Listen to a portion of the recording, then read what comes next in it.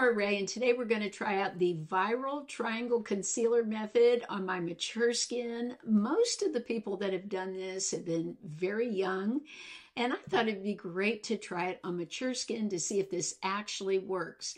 Now, the thought behind this is you're only using concealer, you're not using any foundation, and many of the people that have posted videos did go ahead and add blush. On my face right now, I have my eyeshadow because I want to do a look like I could wear out. So I went ahead and applied what I normally would on my eyes and my lips, and I want you to know that on my skin, I have this primer, the new L'Oreal. I really like it.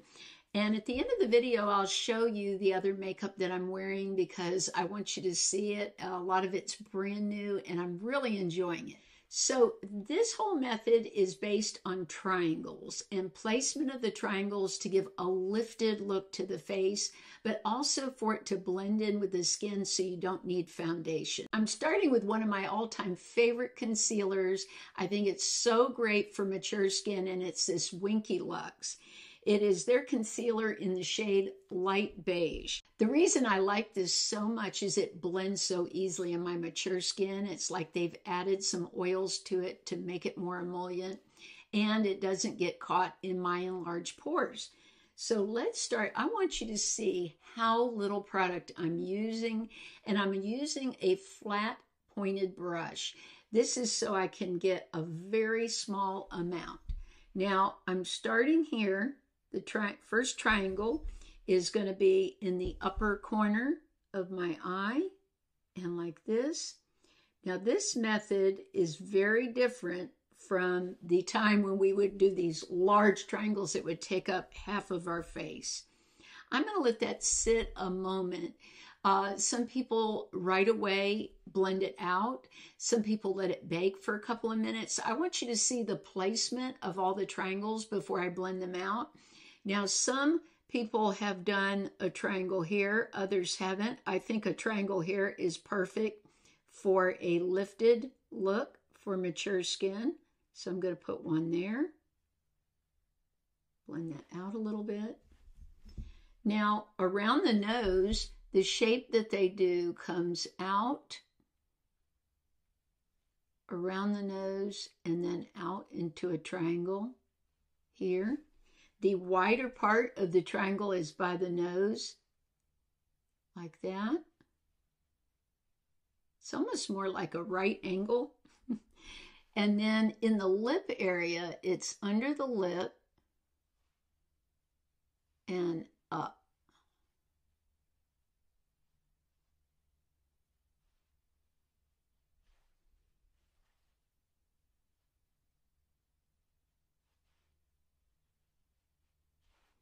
Now let's try blending all of that out. I can already see it sinking in because as I said, this um, really goes on beautifully.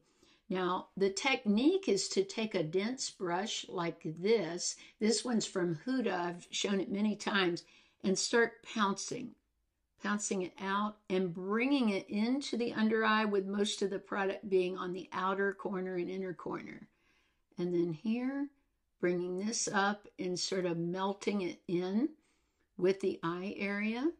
And of course, you're wanting to blend sort of in an upward movement because you're trying to lift the face. I'm going to add more, about the same amount I had for the other side for the left side of my face. So again, I'm going in the inner corner,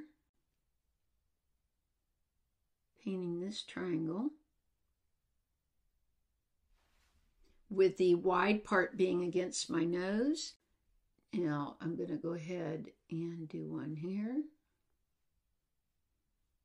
And these triangles don't have to be perfect. I've seen other people do it and they just sort of smudge some in that area and it still worked. It's just you're wanting a thin amount of product. And I've tried this with another concealer and I found that you really need something very thin and emollient to do this, not something that's thicker or quick drying. Now I'm going to go under the mouth and out.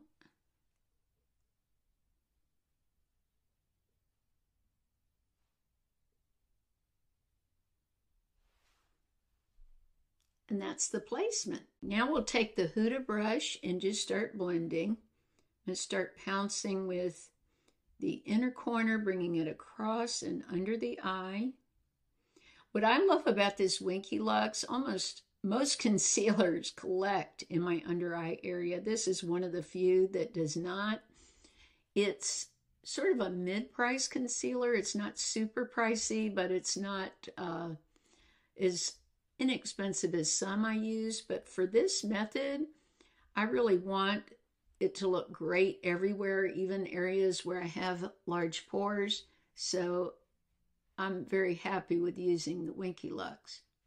So here's the look with both sides done. If I'm going out, I'm definitely still going to want some blush on my cheeks. So I purchased this to try to find a dupe for it, but I'm just starting to look right now. So I'm going to use the Charlotte Tilbury today. This is her new Matte Beauty Blush Wand. And I took your advice. You said I look better in warm shades. So I bought Pillow Talk Peach Pop.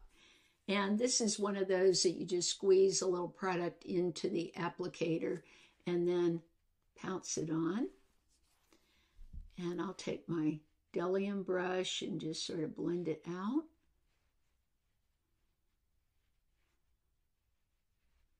I've worn this a couple of times and I really do love it. But of course, I have less expensive blushes that I love too but I think this gives a very soft, beautiful look to the skin. And if you're not a fan of Luminous, then you're going to really like this because it doesn't have all that shimmer to it. I know a lot of ladies aren't fans of shimmer, so this doesn't have any.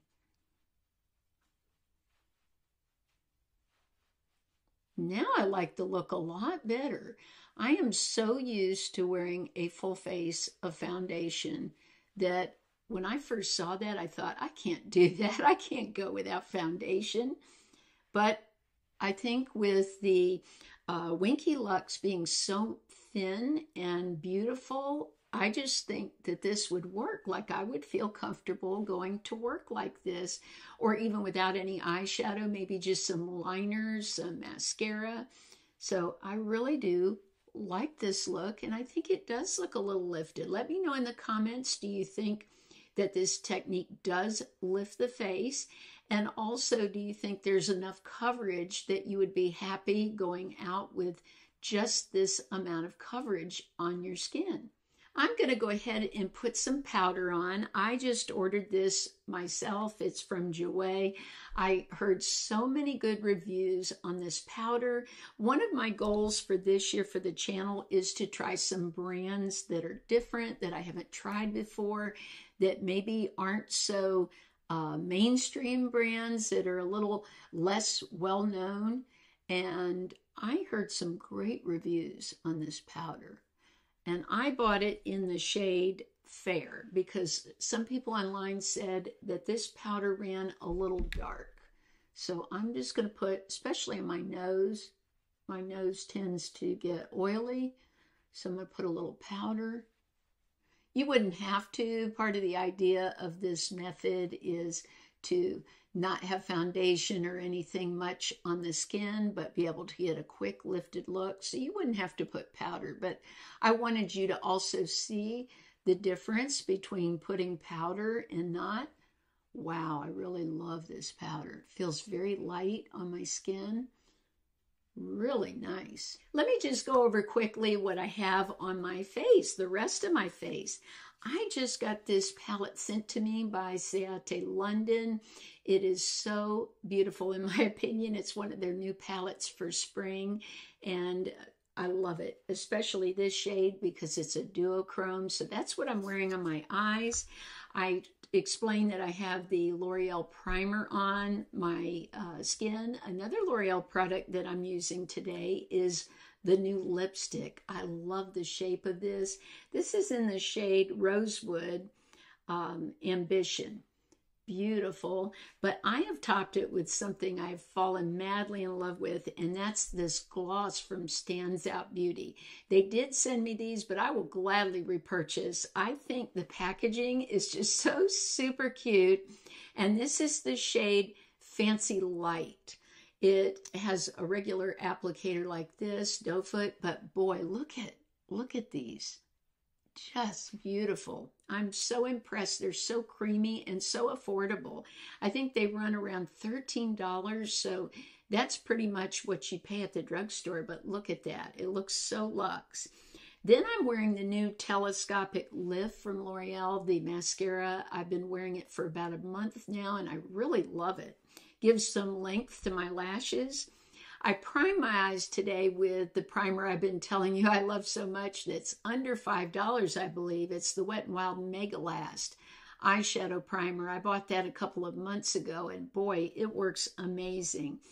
And then I'm wearing the Essence Extreme Lasting Eye Pencil, and the shade I'm wearing is Espresso. So that's pretty much what I've got on my face right now, along with the Charlotte Tilbury that I showed you, the blush I recently bought. But I really love this look, and I think I'm really surprised. I thought this technique wouldn't work for me, but I think I will be wearing a lot less foundation because my skin feels so light, so comfortable. I would have been fine even without the powder, but I like that the powder brought down the shine on my nose and forehead. So I think this is a pretty good technique. I hope you all have a blessed and beautiful week. I look forward to seeing you this Saturday. I have a great video for you, so I'll see you then.